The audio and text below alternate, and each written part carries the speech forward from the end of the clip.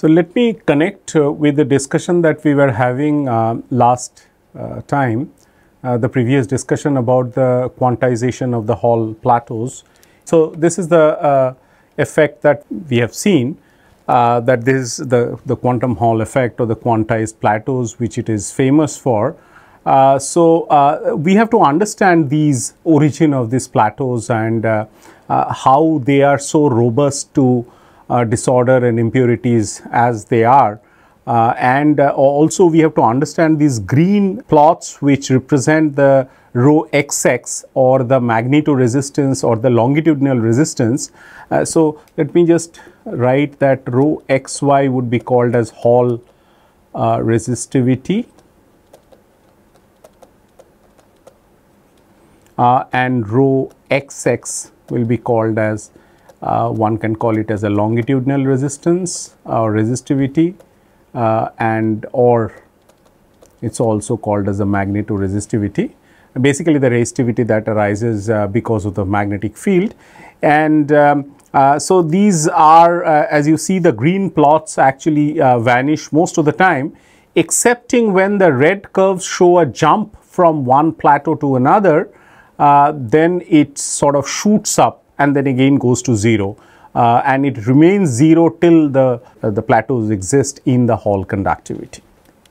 This is uh, uh a quantum phenomena as uh, we have said earlier and we will be talking about this. Um, so, the quantum mechanical nature of the electrons in presence of a magnetic field uh, will have to be worked out and we have to understand how these plateaus arise and why they are so robust so much so that they actually give the benchmark of uh, resistance. Uh, the plateaus actually h over e square sets the scale of resistance which is 25.813 kilo ohm uh, and uh, we have to understand all that. But uh, before that uh, for one last time let me do the the classical analysis in order to understand the behavior of charged particle in a, a electromagnetic field or, or a magnetic field say and um, we have of course done this problem at equilibrium and we wanted to understand that uh, what happens or how the Hall voltage develops uh, in the transverse edges of the sample when there is a longitudinal current being sent uh, from one end to another and um, that was a analysis that was done and at equilibrium when uh, the force vanishes. Uh, but we haven't talked about uh, what is the trajectory of the uh, particle in presence of an electromagnetic field and this is important because uh, the trajectory uh, being actually a path that's followed by a particle, uh, a charged particle, should not really depend upon whether we are talking about classical mechanics or quantum mechanics. Um, of course, in quantum mechanics, we rarely discuss or uh, worry about uh, the trajectory of the particle for the reason that the trajectory is uh, uh it's um, there is an uncertainty principle which is uh, underlying that and which governs the trajectory. So, let us look at the classical trajectory of a charged particle.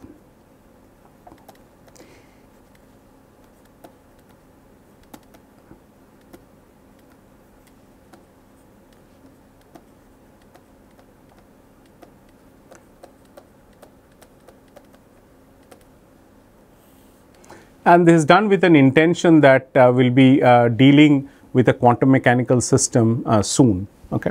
So, uh, let us um, talk about two cases, uh, the case one being uh, where there is no electric field and there is only a magnetic field which is constant which is not equal to 0, it is finite and it is uniform. Okay. so, this is the situation 1 that is case 1 say and um, the energy is constant. So, uh, please do not confuse between the electric field E and the energy. Energy is a scalar, so energy is a constant uh, and um, energy is constant because of the reason that the power delivered uh, is equal to 0 which is uh, uh, nothing but uh, the Lorentz force is V cross B and that is why this is equal to 0. So, we can write this as mv a dot a v dot which is equal to d dt of uh, half mv square and this is equal to uh, q into v dot v cross b which is equal to 0. Okay. So, this is your uh, F dot V uh, because your F is the Lorentz force when there is no electric field it's only the magnetic field will create a Lorentz force. So, uh, so V dot V cross B equal to 0 uh, the reason is simple. This V cross B is a vector which is perpendicular to both V and B. And that is why if you take a dot product with V it will give you 0 and that is why a ddt of half mv square equal to 0 which means half mv square equal to constant. Okay and this is what we mean by uh, the energy being a constant. That is the only energy that is uh, left in the uh, problem. So, this um, you know uh, results in uh, separate equations or separate dynamics uh, for the longitudinal and the transverse direction. So, if you write your V to be having a parallel component and a perpendicular component and these dynamics are uncoupled or decoupled and uh, they, the motion takes place independent of each other in absence of an electric field. Okay, okay. So let's talk about uh, the perpendicular motion.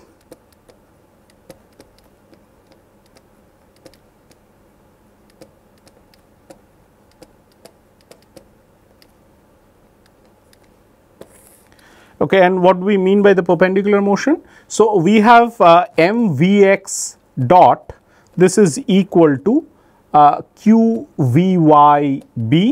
So, this is uh, say equation number 1 and the equation number 2 will be mvy dot equal to minus qvxb.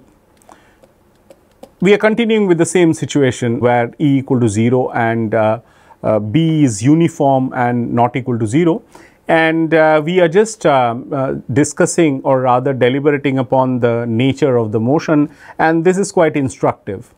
If you take a double derivative of this, so uh, differentiate with respect to uh, with respect to time t and then of course use 2. So then mvx double dot, so this is equal to q uh, v y dot by b I mean into b and then I can take this m to be uh, in the denominator uh, this is in the denominator. So, this now I will use uh, v y dot to be here.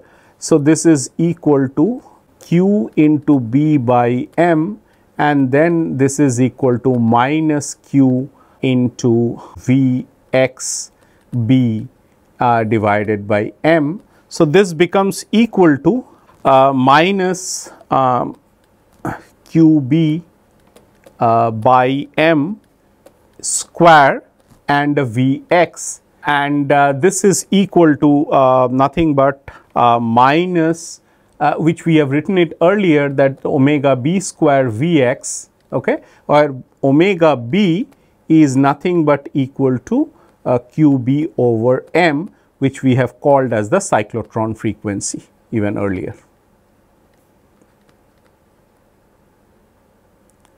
So, just a quick recap, we are uh, talking about uh, uh, no electric field and a charged particle is uh, moving with a velocity uh, v which is has components vx and vy and uh, this is um, there is a b there uh, that is a magnetic field. Because of the magnetic field there is a Lorentz force and in this particular case we know that the energy is constant because the F dot V equal to 0 and now we are analyzing the motion by writing down the equations of motion. So, mv x dot uh, equal to q v y b because uh, f is equal to uh, q v cross b and that is why uh, the x component uh, or the derivative of the x component of the velocity is related to the y component of the velocity and similarly for the y component it's x component but with a negative sign and now I did some uh, uh, little uh, manipulation here in order to write this uh, Vx double dot.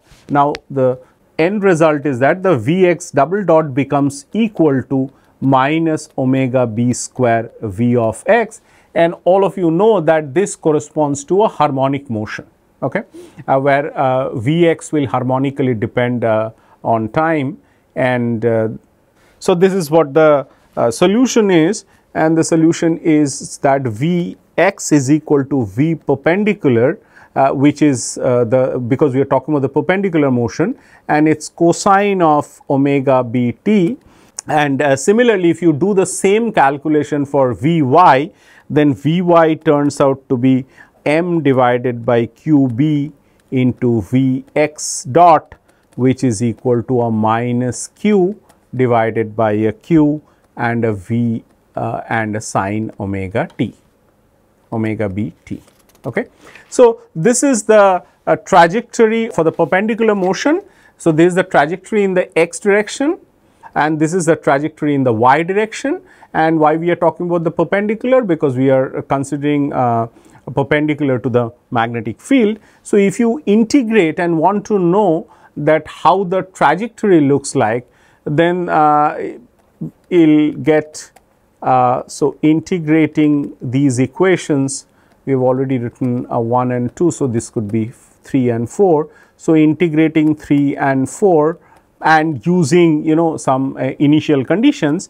So, x is equal to x 0 plus a v perpendicular divided by omega b uh, and a sine omega b t uh, because I integrate it with respect to t.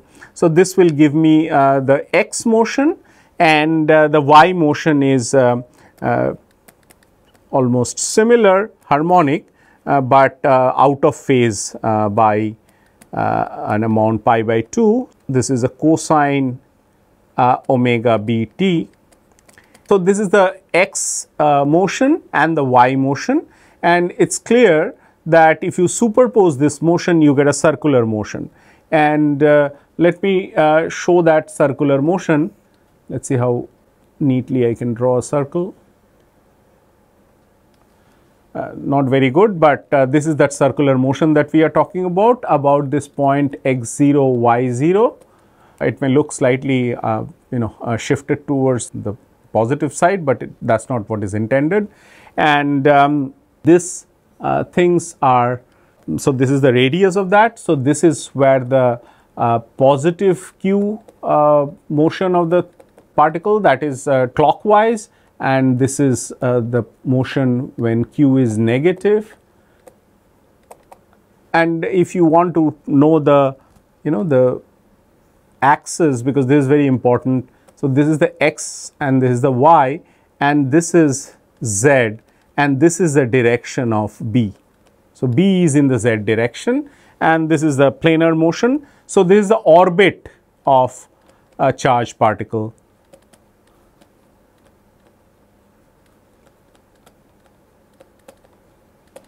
uh, about a guiding center.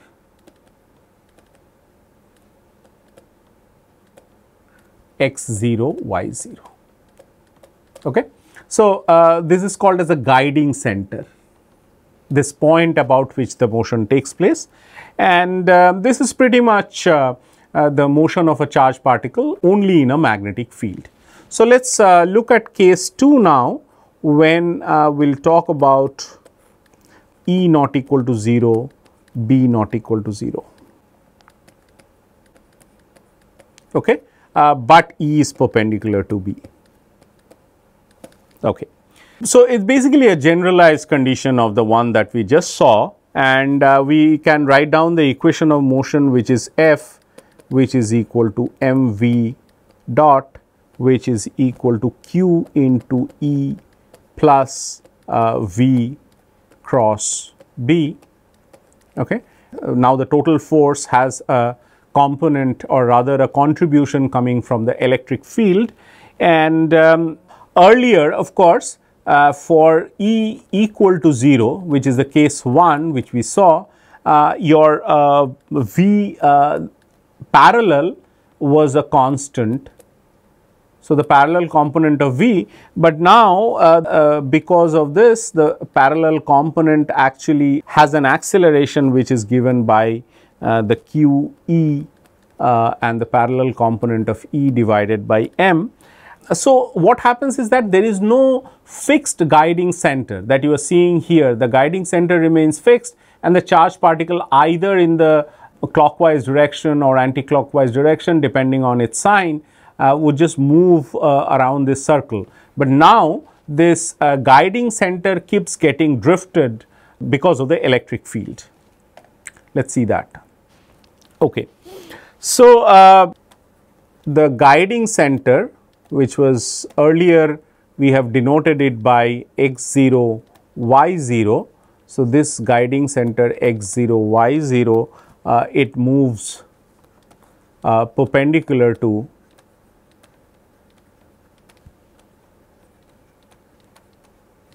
both E and B. Okay. So, this guiding center moves in that direction. So, the charged particle drifts, the charged particle drifts with a velocity v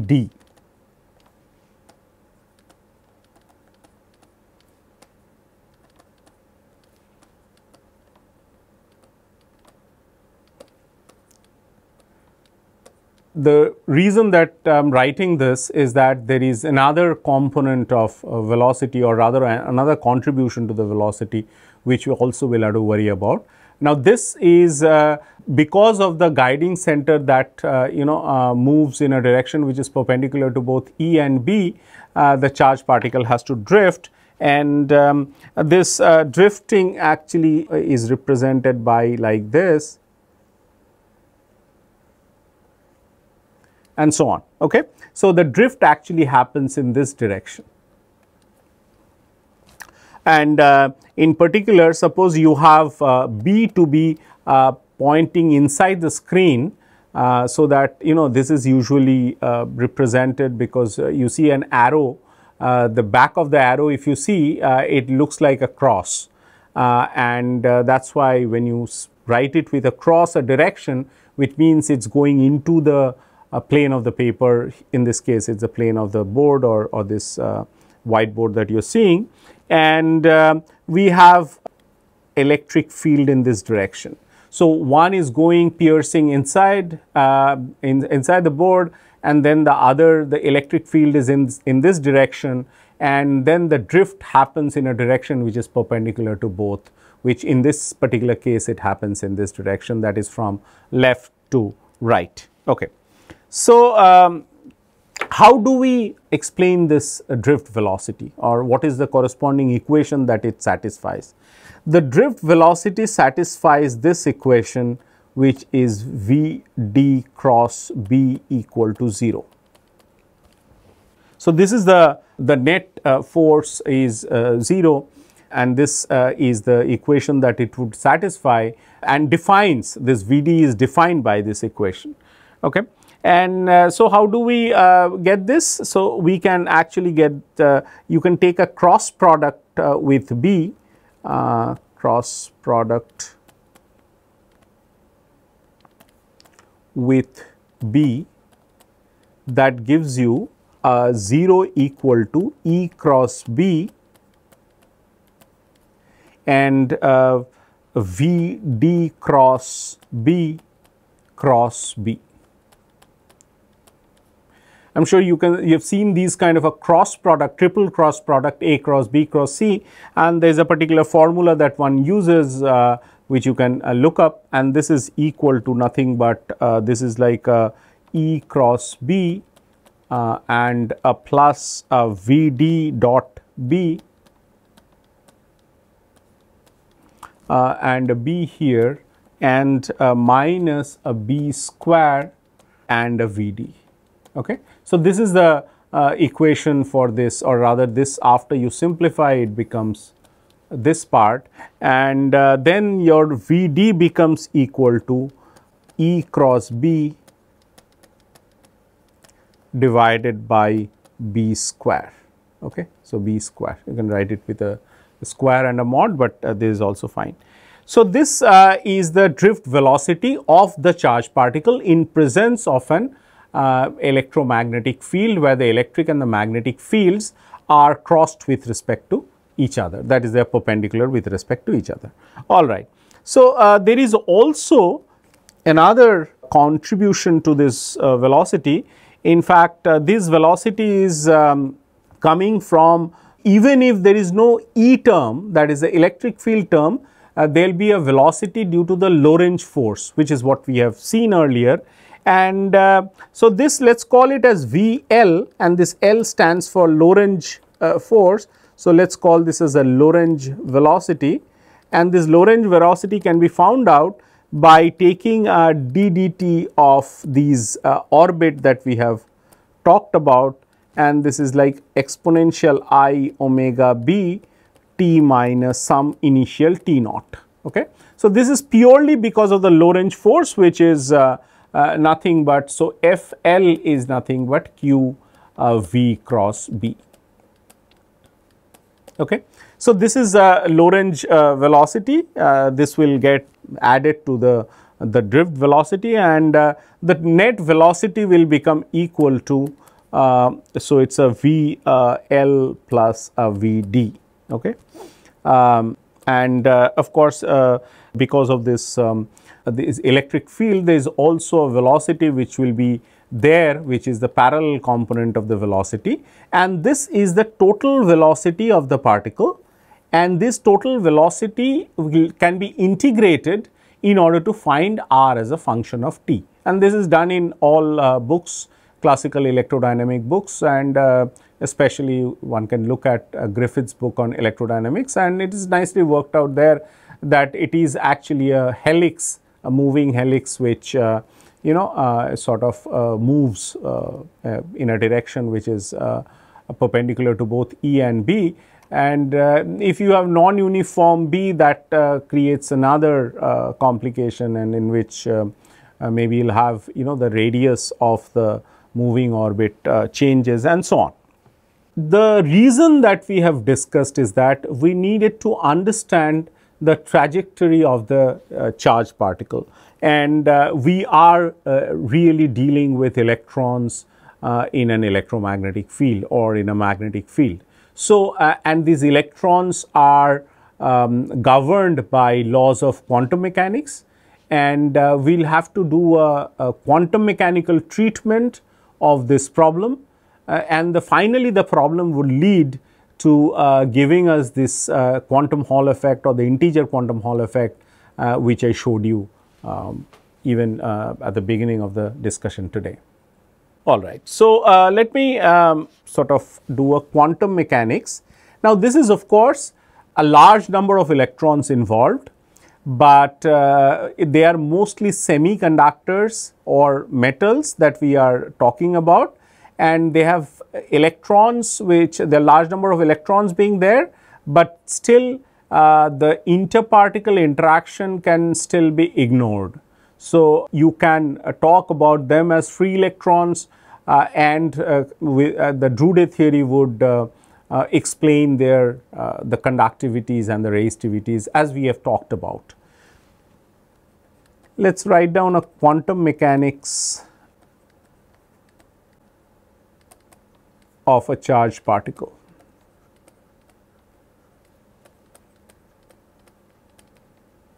And first let us uh, do it only for the magnetic field and uh, we will see that the physics is not um, radically altered when you include the electric field.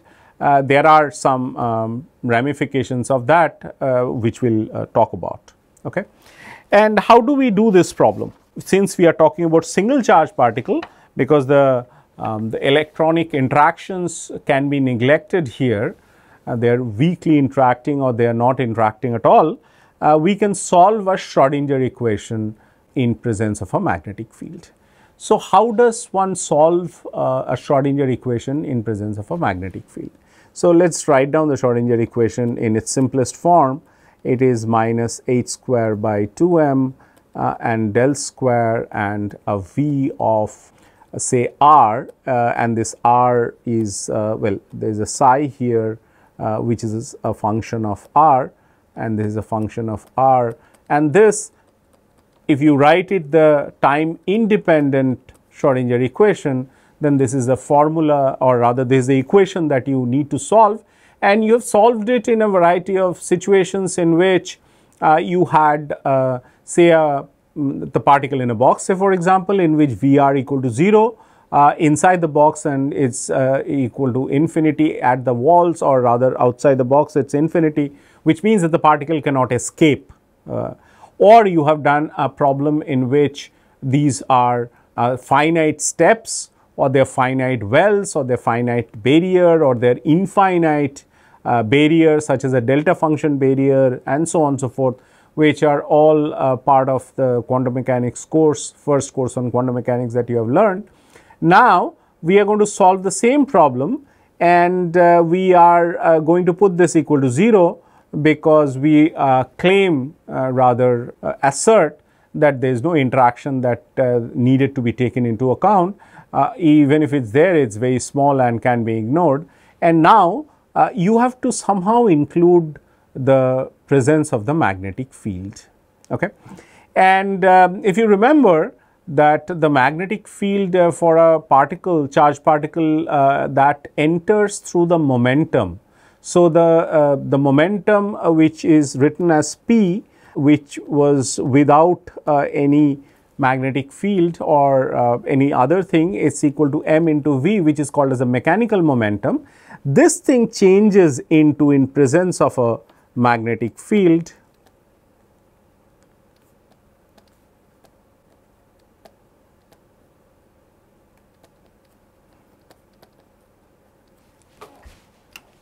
This is uh, P minus E A. So, it, it, this changes from P to P minus Q A,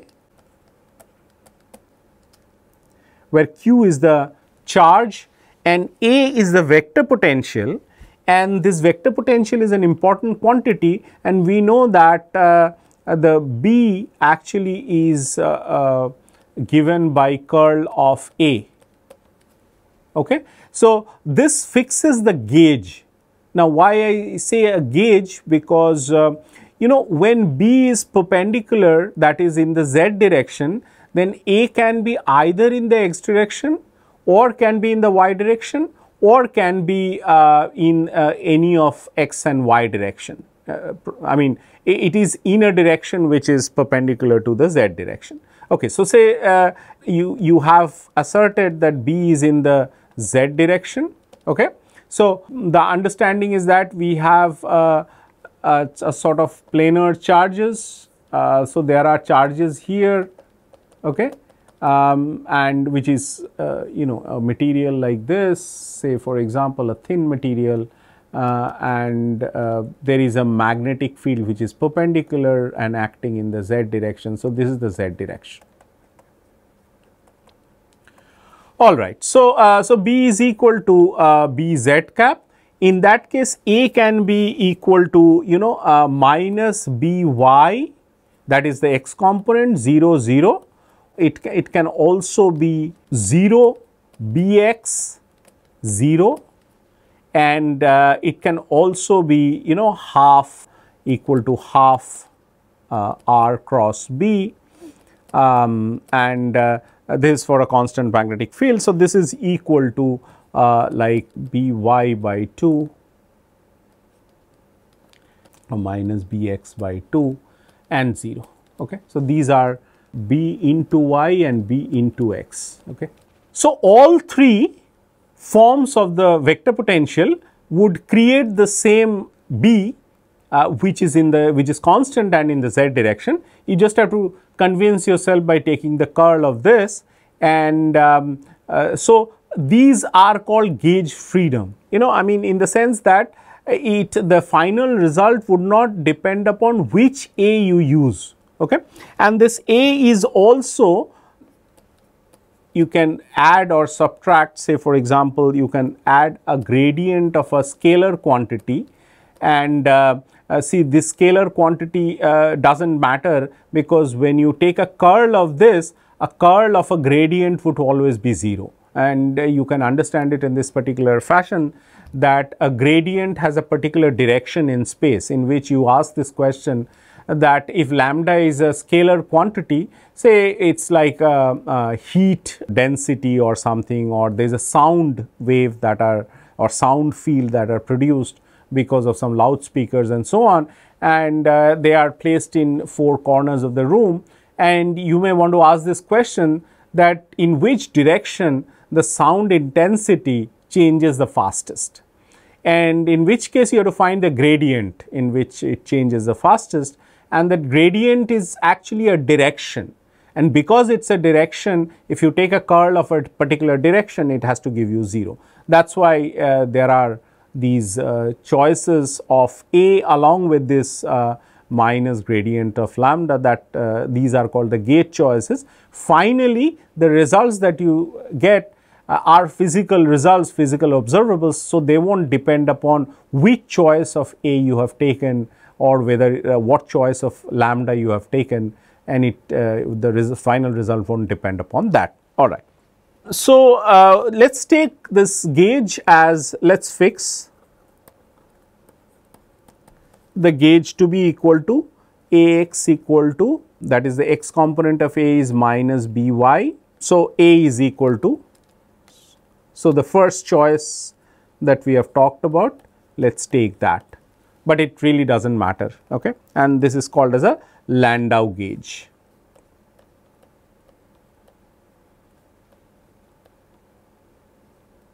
Okay. So, we do this and then put this in the uh, Schrodinger equation and now make sure that your uh, q is nothing but minus E because we are talking about electrons specifically.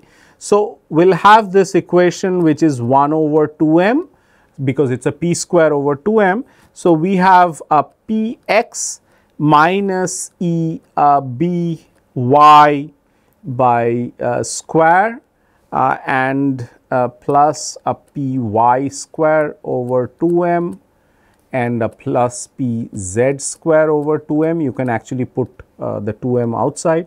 Maybe let us do that so that I do not have to write these. Okay. And this the only thing and then this psi is equal to E psi is the equation. So, this is the Schrodinger equation.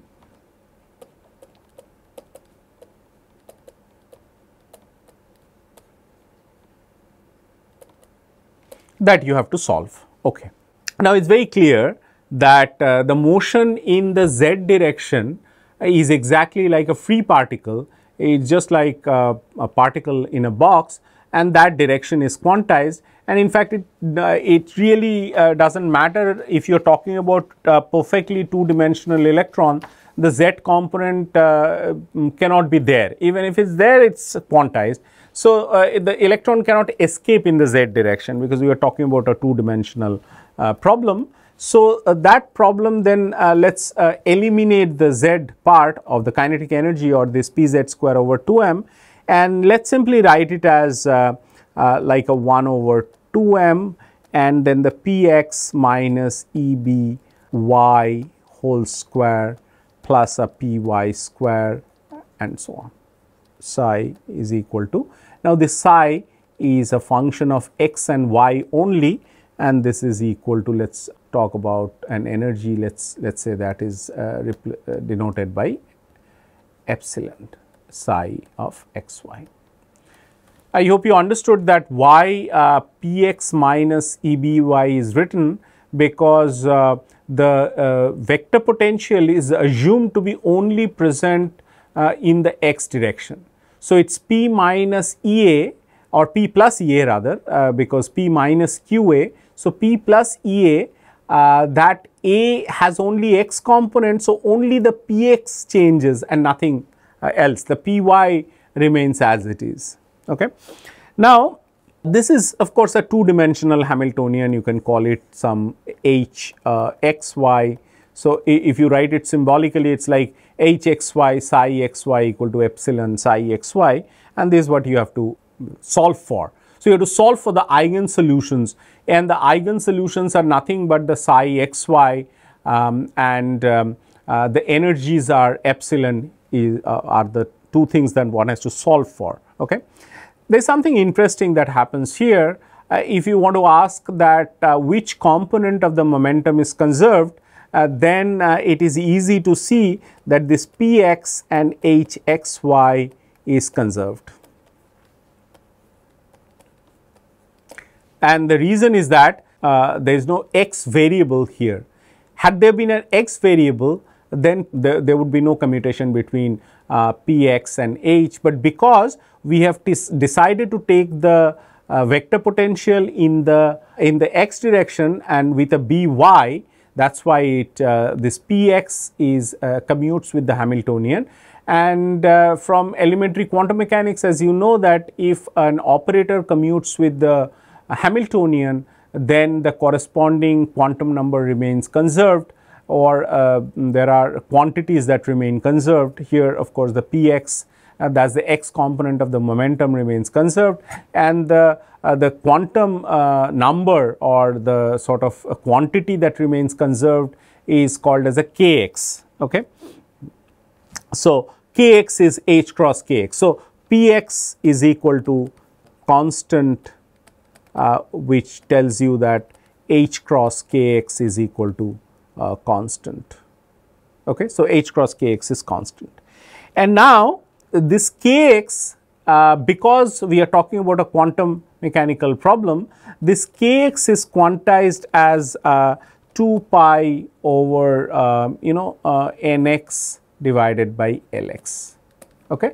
It is just that uh, just the way we have learned that particle in a box the k vectors are quantized, the k vectors are quantized because of the presence of boundaries there and that is uh, we have seen that k equal to you know n pi over L uh, here because of the uh, periodic boundary condition you get a factor of 2. So, this kx uh, is equal to 2 pi nx by Lx and nx are 0, 1, 2, 3 and so on. Okay. So, these are the values that are uh, sorry the 0 uh, can be neglected because 0 means that the particle is not there. So, it is it's actually 1, 2, 3 and so on okay so any integer the rest of the uh, relation can be written as so if px is a constant I can absorb it as a constant in the Hamiltonian and can write down the resultant uh, Schrodinger equation as follows. Okay, so this is equal to uh, py square over 2m. Py is not conserved for the reason there is a y in the Hamiltonian and py and y do not commute. This is the uncertainty principle that you have learnt uh, and uh, particularly y and py is equal to IH cross. Okay. This reason that py is not constant and I can write down then this uh, 1 by 2 uh, that is half m and EB over m square and y minus y0 square and now my wave function actually becomes function of only one variable that is y because you see there is no x anywhere in the uh, Hamiltonian. So, I can write this as simply f of y and this is equal to e epsilon and f of y. Okay? And what is the uh, y0? Y0 is uh, the constant thing which is px over eb and uh, this px is the x component of the momentum which I argued that y is constant and of course for a given problem E and B are constants, uh, B is the uniform field. So, this y0 is actually px by EB and this is uh, it has a name called as a magnetic length and written as LB because it depends on B.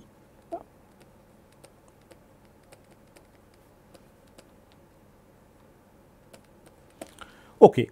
Now, this uh, tells you that if this is a constant, uh, there is a py square and then there is a half something m into some uh, cyclotron frequency. So, it is a half m omega square and then y minus y0 square and then you have this uh, wave function which is only a function of y and that is why from psi xy we have written in f of y and then energy into f of y. And this clearly represents that the equation for or the Schrodinger equation for a harmonic oscillator oscillating in the y direction about not about 0 but about this y0 or the magnetic length which is given by this uh, px over eb. Okay. So, uh, if it is a, a, harmonic oscillator problem then we do not need to solve any further. We can uh, get this uh, the solution to be exactly of the form which is epsilon equal to n plus half h cross omega b where omega b is equal to uh, of course omega b is equal to eb over m which we have said several times that this is equal to the cyclotron frequency. Okay. So, a problem which was simple enough to begin with, uh, we find the solution at least till now we have found the energy. So, the energy is nothing but it is uh, n plus half h cross omega b just following the solution for the energy for a harmonic oscillator n can have 0, 1, 2, 3 etc. all the integers and here it can be equal to 0 because uh, the harmonic oscillator allows for a solution with a quantum number n equal to 0.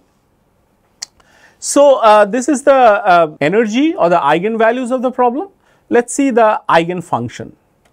So, the eigenfunction now let us call it uh, because we, we can solve for of course uh, f of y uh, that is what we will do, but then we know that the total wave function which is equal to f of or psi of xy, psi of xy is actually a free particle in the x direction multiplied by this f of y. Okay.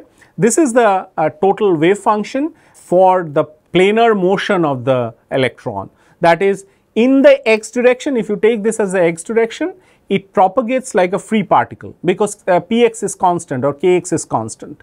So, it will propagate like a, a free wave there and will have a harmonic motion in the y direction. So, in the y direction it will have a harmonic motion uh, will make a execute a harmonic motion about a point which is given by uh, y0 and this y0 inversely depend upon b.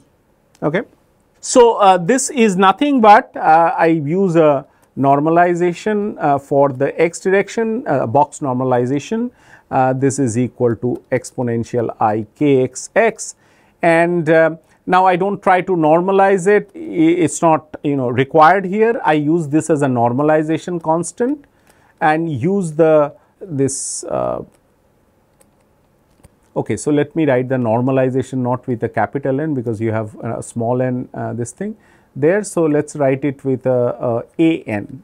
So, a n is a normalization constant and the wave functions are uh, for a harmonic oscillator are known to be a convolution of a Gaussian which is exponential minus alpha x square or alpha y square multiplied by a polynomial function which is called as a Hermite polynomial and this polynomial has a property that when n is even the polynomial is even that is it contains terms such as x to the power 0, x, x square, x to the power 4 and so on. When n is odd it contains terms which are x, x cube, x to the power 5 and so on. So, this is that form that we have to write down. So, this is equal to uh, E b y minus y 0 whole square divided by h cross which is the Gaussian part just reminding you that uh, this is the harmonic oscillator and uh, you have a, a, Gaussian like this for the for the ground state and and this is for the first excited state it is like this and so on okay? So this is an odd function. So this is a ground state and this is the first excited state and so on. So and then there is a hermite polynomial and this Hermite polynomial is written as E b y minus y 0 uh, divided by h cross etc. The exact form is not important for us at this moment, but we need to know that at least there is a Hermite polynomial and then there is a Gaussian term which comes with a normalization constant and this part is purely because of the x part and this is because of the y. And as I said uh, that the z component even if you consider it's like a free particle in the z direction. In particular if you confine electrons in two dimension uh, then that uh, term does not arise. Now if you go to this uh, last slide you have n plus half h cross omega and this n equal to 0, 1, 2, 3 etc. These are called as the Landau levels.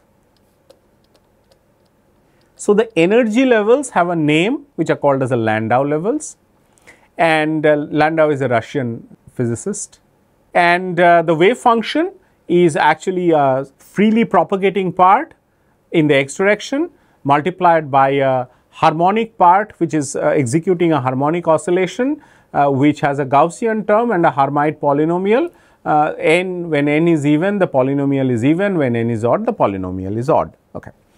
These Landau levels so if, if we really plot it how does it look like the Landau levels will simply look like this. Okay.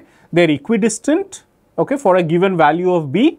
So, this is uh, say n equal to 0, n equal to 1, n equal to 2 and so on.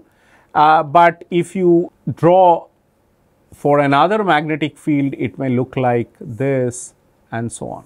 Okay. So, then n equal to 1, n equal to 2, n equal to 3 and so on. Okay. And the reason is that uh, omega b uh, which is um, the cyclotron frequency, it is directly proportional to B. So, as you increase B, let us say that this B1 for a magnetic field B1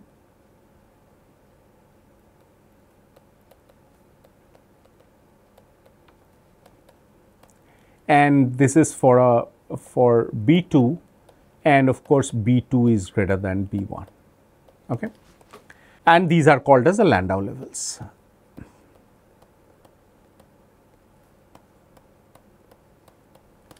So, uh, now what are the properties of the Landau levels? And uh, we would uh, eventually get to that, that these Landau levels are the most important things in understanding the structure of the plateaus. Okay? And uh, these are not really very sharp levels because of disorder these get broadened, uh, we will come to that there is one uh, very important thing that these Landau levels are infinitely degenerate or their degeneracy is very high. So, degeneracy of the Landau levels.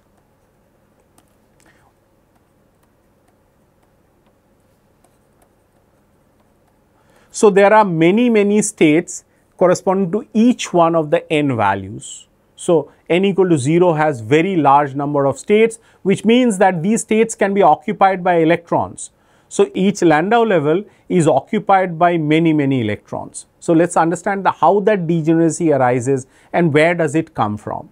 It comes from the value that kx is a constant and this result that you have got is independent of uh, kx. So, kx does not play a role here which means any value of kx would give rise to this level. And this kx has a nx associated with it, which denote the quantum number of the states, which means that corresponding to any value of n here, a given value of n, there could be a very large number of values of nx that are possible. Okay? So, uh, this in principle this is infinite, but uh, the degeneracy is actually limited by some factors and uh, let us uh, you know try to understand that what factors do they depend upon. But I hope that it is clear uh, that these uh, levels are heavily degenerate and the degeneracy is because they are uh, coming from the fact that any value of kx would satisfy this equation or any value of nx would satisfy these energy levels. So, each of the energy levels do not depend upon on um, nx and any value would be then acceptable solution. Okay. So, uh, if we want to know the degeneracy, let us uh, look at this. Okay. So, uh, we have written this down earlier that the y0 is equal to, so we have uh, y0 equal to px over eb, we have written this earlier uh, and which we called as lb which is the magnetic length. And this is nothing but h cross kx uh, divided by EB okay? Because Px is h cross kx and this is equal to h cross um, uh, kx is 2 pi uh, uh, nx by lx. Okay. So, this is your uh, y0 and we want to find that what is the maximum degeneracy. So, we want to find what is nx max okay. and nx max all others are constant the y0 is the is basically a length scale in the y direction okay. Along the y direction there is some value of y which is determined by of course the magnetic field. Now this y0 can at the most be Ly that is the uh, length of the sample in the y direction that y0 cannot be outside the sample. So, the maximum value of y0 will be Ly and so maximum value of nx max can be obtained if you substitute y0 as Ly. So, this is equal to Eb uh, Lx Ly uh, because I am putting y0 as uh, Ly and this is equal to 2 pi uh, h cross. So, that is the maximum degeneracy. So, this is equal to Eb into A, A is the area of the sample, uh, do not uh, confuse it with anything else, it is the A is the area of the sample.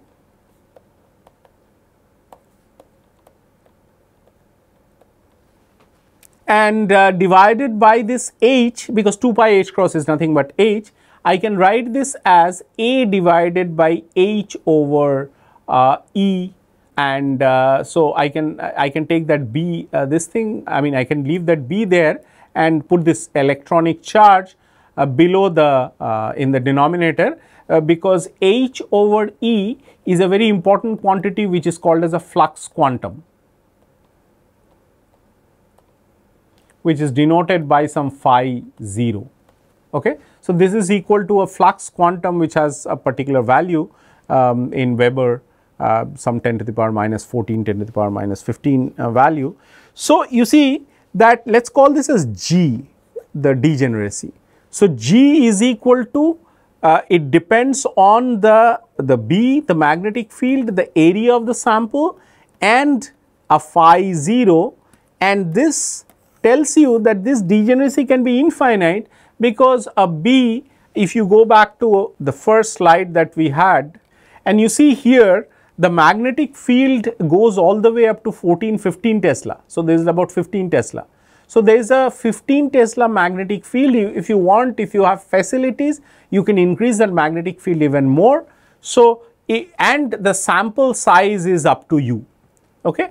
So, this is really a very large degeneracy that is coming out of each one of the Landau levels are degenerate. In fact, this has uh, important um, repercussions or impli implications on uh, the qu fractional quantum Hall effect.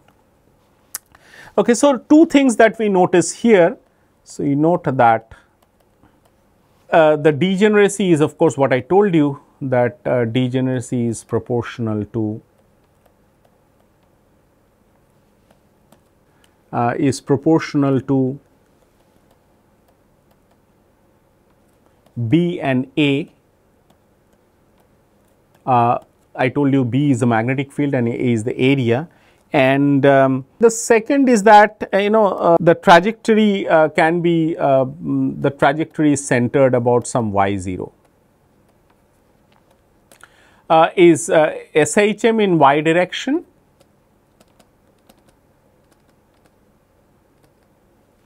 and centered about y 0.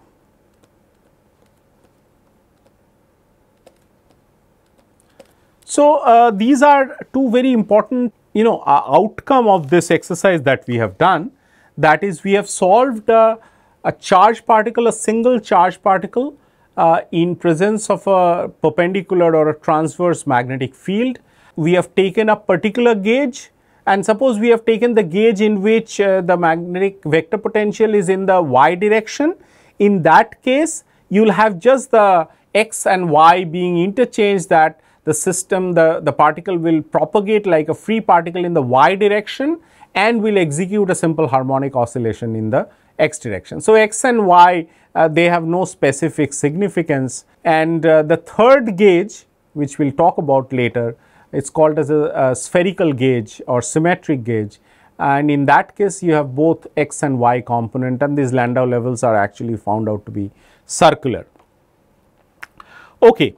So, um, now there are uh, some incidental similarities which I will just point out and we will discuss them uh, as we go along. And the similarities are that the Hall resistivity, it shows plateaus in multiples of h over uh, uh these plateaus are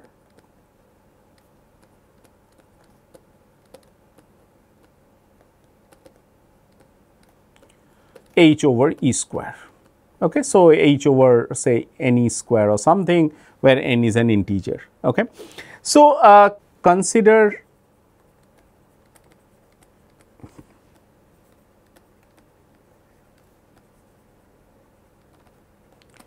to be n 0. Okay. That is the density of carriers. So, define a quantity called as nu or uh, let us call this as uh, just what we called here as n, let me call this as nu, where nu takes values 1, 2, 3, etc. We just change this because there are too many n's, n is used for density as well. So, consider charge density of the of the carriers to be n 0. So, nu is defined as n 0 divided by uh, G by A. Now, this G by A is the, uh, the degeneracy per unit area. So, let us not uh, have the geometry of the sample coming in because you can have any, any geometry, but if you divide it by A, then it becomes a fundamental quantity which only depends on the value of the magnetic field. And we are now we are talking about a, a, given value of the magnetic field and uh, this is equal to nothing but uh, N0 H divided by EB and uh, this is equal to, so this is equal to a number of electrons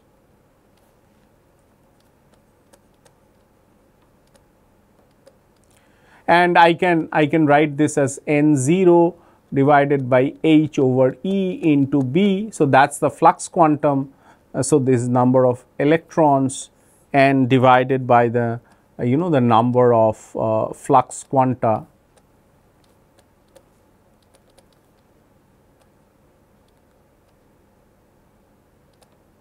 and so on. Okay. So, if nu assumes a value integer that is when the number of electrons uh, and the number of flux quanta they become commensurate fractions or even uh, fractions uh, in the fractional quantum Hall effect, then there are plateaus uh, that are seen in the resistivity.